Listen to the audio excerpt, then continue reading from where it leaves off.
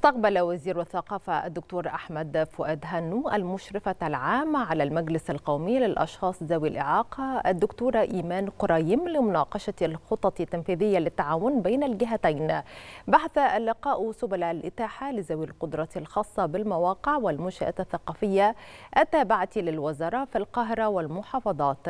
كما تطرقت الجلسة إلى سبل دمج ذوي الهمم في الفعاليات والأنشطة التي تنفذها الوزارة في مختلف القطاعات التابعة لها. وأكد الوزير أن الفترة المقبلة ستشهد إطلاق حملة للتوعية والتعريف بقضايا واحتياجات ذوي الهمم وزيادة عدد الفعاليات الهادفة لاكتشاف الموهوبين منهم ودمجهم في مختلف أنشطة الوزارة.